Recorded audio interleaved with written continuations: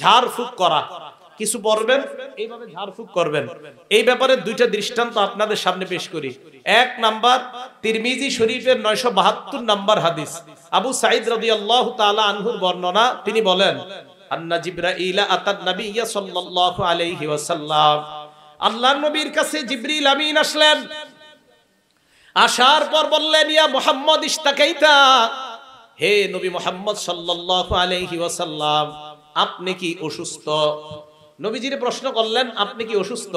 আল্লাহ নবী জবাব দিলেন, নাম হ্যাঁ আমি অসুস্থ। এবার জিবরিল আমিন কি বলছে দেখেন, যদি পারেন মুখস্থ রাখেন। বিসমিল্লাহি আরকিকা। আল্লাহর নামে আমি আপনারে ঝাড়ফুঁক করতেছি। জিবরিল আমিন নবীজিরে ফু দিতেছে। মিন কুল্লি শাইইন ইউযিকা। সমস্ত এমন জিনিস থেকে যেই জিনিস আপনাকে কষ্ট দেয়। বিসমিল্লাহি আরকিকা। আল্লাহর নামে আপনাকে আমি ঝাড়ফুঁক করি। মিন কুল্লি শাইইন ইউযিকা, প্রত্যেক ওই জিনিস থেকে যেই জিনিস আপনাকে কষ্ট দেয়। মিন শাররি কুল্লি নাফসিন, প্রত্যেক অনিষ্ট বান্দা থেকে আমি আপনার কাছে আপনাকে ফু দিতেছি। প্রত্যেক বান্দার অনিষ্টতা থেকে আমি আপনাকে ঝাড়ফুঁক করতেছি। এরপরে কি করে দেখেন? ওয়ামিন আইনিন হাসির হিংসুক চোখ থেকে আমি আপনাকে ঝাড়ফুঁক করতেছি। শেষে জিব্রিল বলে, বিসমিল্লাহি আরকিকা, ওয়াল্লাহু ইয়াশফিকা। আল্লাহর নামে আমি আপনাকে ফু দিতেছি, আল্লাহ আপনাকে সুস্থ বানায় দেন। এটা যদি পারেন, বাচ্চার শরীরে ফু দিবেন। জিব্রিল আমিন নবীজিরে ফু দিস আপনারা অবিকল এই দোয়া পরে ফু দেন। আল্লাহ এই বাচ্চাকে হিংসুকের হিংসা থেকে হেফাজত করবেন। বিসমিল্লাহি আরকিকা মিন কুল্লি শাইইন ইউযিকা, মিন শাররি কুল্লি নাফসিন ওয়া আইনিন হাসিদিন। বিসমিল্লাহি আরকিকা আল্লাহু ইয়াশফিকা। এটা হলো পুরা দোয়া। দৃষ্টান্ত নাম্বার দুই। বুখারি শরীফের তিন হাজার তিনশো একাত্তর নাম্বার হাদিস, তেত্রিশশো একাত্তর নাম্বার হাদিস। আব্দুল্লাহ ইবনে আব্বাস রাদিয়াল্লাহু তাআলা আনহুর বর্ণনা, কান নবী সাল্লাল্লাহু আলাইহি ওয়াসাল্লাম ইউআবিজুল হাসান ওয়াল হুসাইন নবীজি হাসান হুসাইনকে ফু দিতেন। ফু দেওয়ার সময় আল্লাহ নবী বলতেন, ইন্না আবাকুমা কানা ইউআবিজু বিহা ইবনাহুমা ইসমাঈলা ওয়া ইসহাক। নবীজি সাল্লাল্লাহু, ইবনাইহি ইসমাঈল ওয়া ইসহাক। আল্লাহর নবী বলেন, হাসান হুসাইনকে ফু দেওয়ার সময় বলেন, ও হাসান আর হুসাইন, তোমাদের আব্বা ইব্রাহিম আলাইহিস সালাতু ওয়াস সালাম। কানা ইউআউযু বিহা ইসমাঈল ওয়া তোমাদের আব্বা ইব্রাহিম আলাইহিস সালাতু ওয়াস সালাম, তার সন্তান ইসমাঈল এবং ইসহাককে আমি তোমাদের দুইজনকে যেইভাবে ফু দেই, ইব্রাহিম নবী তার দুই সন্তানকে এইভাবে ফু দিতেন। ইব্রাহিম নবী ফু দিতেন, ইসমাইল আর ইসহাক নবীকে। কীভাবে? যদি পারেন দোয়াটা মুখস্থ রাখেন।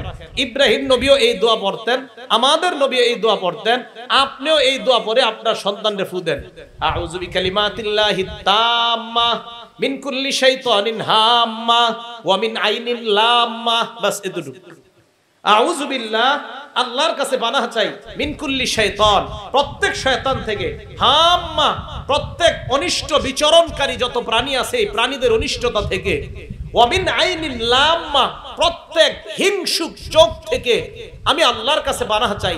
এটা বলে বাচ্চাদের শরীরে ফু দিবেন, নিজের শরীরে ফু দিবেন, আল্লাহর নবী হাসান হুসাইনের শরীরে ফু দিতেন আর বলতেন, ইব্রাহিম নবী অবিকল এই দোয়াটা পরে ইসমাইল এবং ইসহাক নবীকে ফু দিতেন। আউযু বিকালিমাতিল্লাহ, বুখারী শরীফের বর্ণনা 3371 নম্বর হাদিস, আউযু বিকালিমাতিল্লাহি তাম্মা কুল্লি শাইতানিন হাম্মা ওয়া কুল্লি আইনিন লাম্মা। এই হলো দোয়াটা। আল্লাহ আমাদের সকলকে আমল করার তৌফিক দান করেন। হিংসা নেক আমলকে বরবাদ করে দেয়। আবু দাউদ শরীফ কিতাবের নাম, হাদিস নাম্বার চার হাজার নয়শো তিন নাম্বার হাদিস। কলা রসুল্লাহ সাল্লাহ আলাইহি ওয়াসাল্লাম আল্লাহ নবী বলেন ইয়া কুমল হাসাদ শোনো, তোমরা হিংসা থেকে তোমরা বাঁচো ফাইনাল হাসানাত ফাইনাল হাসাদ ইয়াকুলুল হাসানাত কামা তাকুলুন নারুল হাতাব। আল্লাহ নবী বলেন, আগুন যেমন কাঠকে জ্বালিয়ে পুড়িয়ে শেষ করে দেয়, হিংসা মানুষের নেক আমলগুলাকে বরবাদ করে দেয় বলেন। নাউজুবিল্লাহ। হিংসা মানুষের নেক আমলকে নষ্ট করে দেয়। রমজান মাসে কত কষ্ট করে আমল করলাম। এই আমলগুলা হিংসা যেন নষ্ট না করে দেয় এই জন্য সতর্ক থাকা। তাহলে হিংসার এক নাম্বার ক্ষতি, হিংসা দিনকে বরবাদ করে দেয়। হিংসার দুই নাম্বার ক্ষতি, হিংসা নেক আমলকে বরবাদ করে দেয়। হিংসার তিন নাম্বার ক্ষতি, হিংসা এবং ইমান এক অন্তরে স্থান দিতে পারে না। হিংসা এবং ইমান এক কলবে একসাথে থাকতে পারে না। নাসাই শরীফের তিন হাজার একশো নয় নম্বর হাদিস, একত্রিশশো নয় নম্বর হাদিস। কলা রসুল্লাহ সাল্লাহ আলহি ওয়াসাল্লাম আল্লাহ নবী বলেন, লা ইয়াজতামিআনে ফি কলবি আবদিন। কোন বান্দার অন্তরের মধ্যে দুইটা জিনিস একত্রিত হতে পারে না। এক নাম্বার আল হাসাদ, দুই নাম্বার আল ঈমান। নবীজি বলেন, হাসাদ মানে হিংসা। আল্লাহ নবী বলেন ইমান এবং হিংসা এক অন্তরের মধ্যে একত্রিত হতে পারে না। আপনার অন্তরে হিংসা আছে, আবার ইমান আছে। আল্লাহর নবী কয় ইমান আর হিংসা এক অন্তরের মধ্যে একত্রিত হতে পারে না। ভাই আল্লাহ আমাদের সকলের অন্তরটা হিংসা মুক্ত অন্তর যেন আমরা গঠন করতে পারি, আল্লাহ তৌফিক দান করেন। হিংসার চার নাম্বার ক্ষতি। একটা হাদিসের কিতাব আছে নাম মাজমাউজ জাওয়ায়েদ। আট নাম্বার খণ্ড, একাশি নাম্বার পৃষ্ঠা। ক্বালা রাসূলুল্লাহ সাল্লাল্লাহু আলাইহি ওয়াসাল্লাম, আল্লাহ নবী বলেন, লা ইয়াজালুন নাসু বিখাইরিন মালাম ইয়াতাহাসাদু। নবীজি বলেন, মানুষ যতক্ষণ পরস্পর হিংসা না করে, ততক্ষণ মানুষ কল্যাণের মাঝে থাকে। কোন এলাকার মানুষ কল্যাণের উপর থাকার শর্ত হলো একজন আরেকজনকে হিংসা না করা। আল্লাহ নবী কয়, পরস্পর হিংসা তোমরা ছেড়ে দাও। তোমাদেরকে আল্লাহ কল্যাণের উপর প্রতিষ্ঠিত করে রাখবেন। পরস্পর হিংসা যদি ছেড়ে দেই, আমাদেরকে আল্লাহ কল্যাণের উপর রাখবেন। হিংসা থেকে বাঁচার উপায়।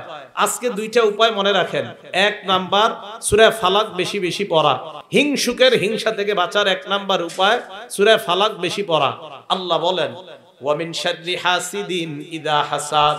হিংসুকের হিংসা থেকে আল্লাহর কাছে বানা চাই।